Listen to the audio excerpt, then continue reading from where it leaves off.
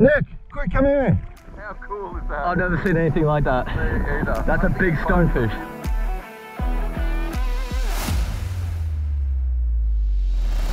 First longtail tuna in the bay.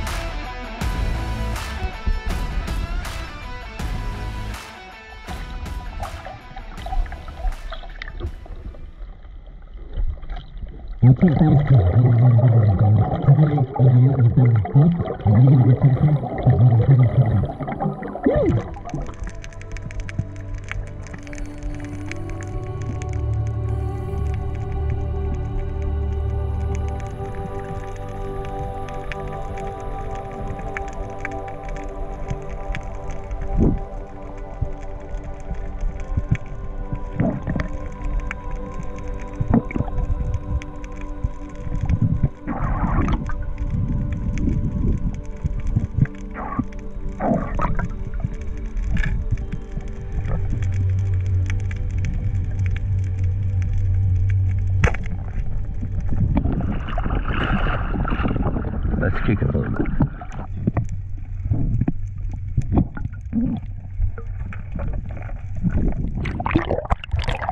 Is that full? Nick, quick, come here. Octopus eating a stonefish. A stonefish? Yeah. You're kidding? Stonefish, yeah.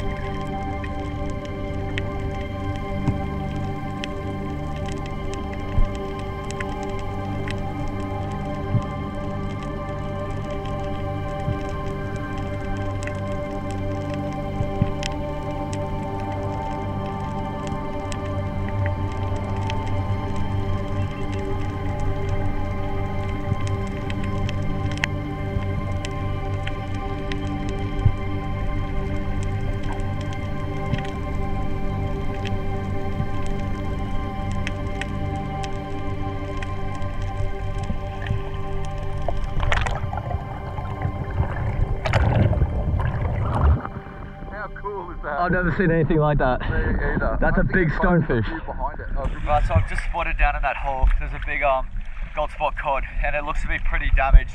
I think one of the other spearos that's come through here has taken a shot and it's got off, so it's looking pretty hurt. Yeah, I'll, I'll shoot it, bring it up, because they're real good eating, and I don't want this guy to, to suffer any longer. So I'll pop down now and, and take the shot.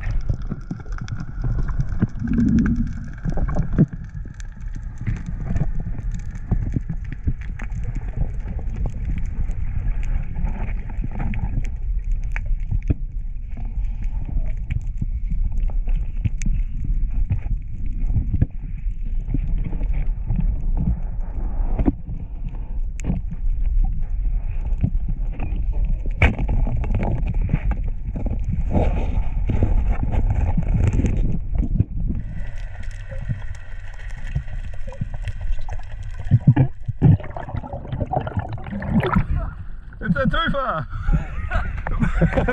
it's a double shot. Oh, are you kidding me? What the hell is going on here? Look how badly he got shot. By the other spearos, I'm guessing. Yeah. Poor guy. There he is. Nice fish, man.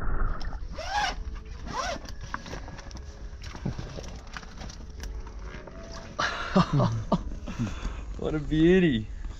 God. First longtail tuna in the bay. I'm so happy with this fish. Absolute beast. so we're gonna fill it up now. right in front. Oh, oh, oh yes! Yes, yes, well done man. Yeah, work his head the other, yeah that's it. Back up. Oh he's coming up, here we go. Oh jeez!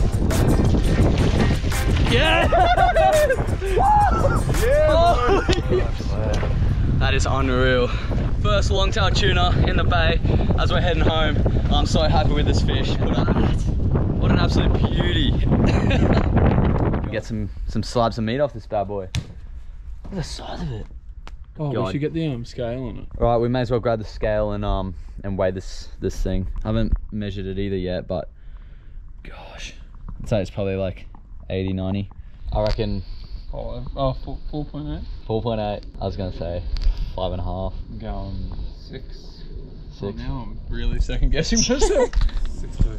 Yeah, wow, no, that's a lot more than 4.8. jeez. Six. Six and a half. 6.5. 6.5. All right, now stop pulling it down. Well, we bled it, so that was probably another five yeah, kilos. true, true.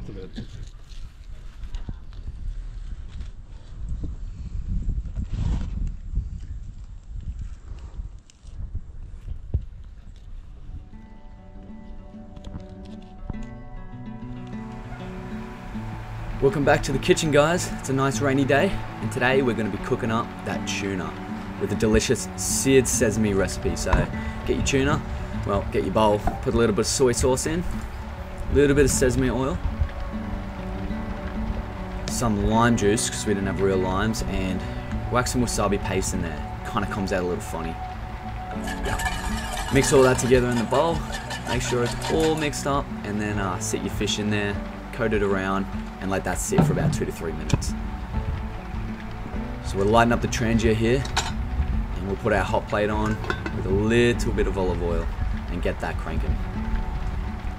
Next up, you just want to mix up that fillet in all the sesame seeds. Don't forget any of these corners. Get every single edge covered and then whack it on the top plate. Be nice and hot. And you only want to sit it on each side for about 45 seconds to a minute. Just searing it. You don't want to really cook it through. So once that's looking good, you pretty much want to get it out. Let it sit for about two to three minutes, guys. Now with your salad, a little bit of olive oil, a little bit of lemon, I mean lime, salt, mix it up, and that should be perfect. So we'll cut this open with preferably a sharp knife, which I've not done here. And that should be nice and red inside. Remember guys, tuna is safe to eat raw. We are not cooking it through. We're just searing the outside to give it that flavor. And should be nice and red inside. So we'll put that on the plate, make sure the presentation looks good. Now we're gonna whack a little bit of sauce on the side and check this out, sriracha flavored Kewpie. We're gonna put that on with the wasabi, so cool. Bit of salad, and that's it guys, that's done.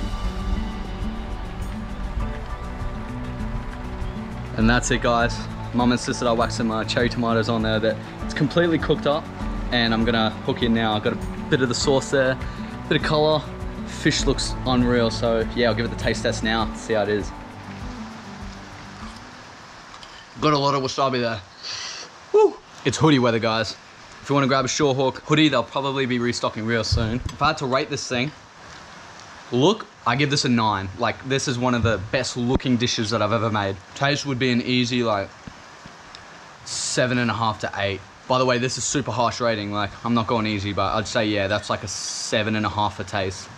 And then complexity, this was a really, really easy dish to do. Like, there's not much to, to mess up. So, three and a half to four on the complexity level, which is good. Really easy, really tasty. Looks unreal. Done. Thanks so much for watching to the the end of the video, guys. I really appreciate it. Hope you enjoyed this one, and I'll see you guys in the next one. You.